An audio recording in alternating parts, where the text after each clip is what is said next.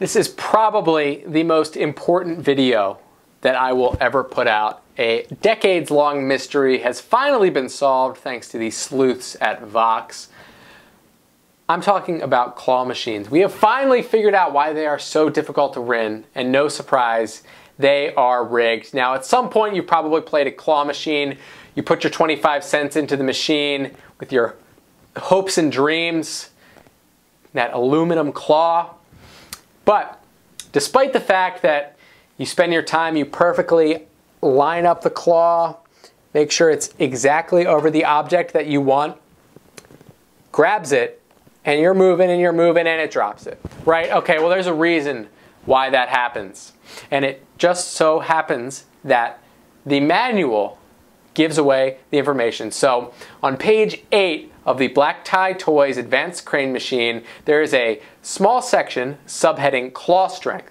And what is explained is that the machine's owner can fine tune the strength of the claw beforehand so that it only has a strong grip a fraction of the time that people play. What that means, got your object, you got your claw. Check it out. Strong grip until it raises up. And then the second it gets up here, the machine switches its setting and goes to from maybe 90% grip strength to 10%, and that's where you lose your object. That's why it happens. The machines also allow the owner to select a desired level of profit and automatically adjust the claw strength to make sure that players are only winning a limited number of times. They can also adjust the dropping skill, which means that on a given number of tries, the claw will drop a prize that it's grabbed before it delivers it to you right? So it can just be, it'll have it. You got your prize, even though it's down to 10% strength, and it'll just let go of it. Because screw you, right? Pretty interesting stuff. So the big decision for machine owners is how fair or unfair they want to make the game.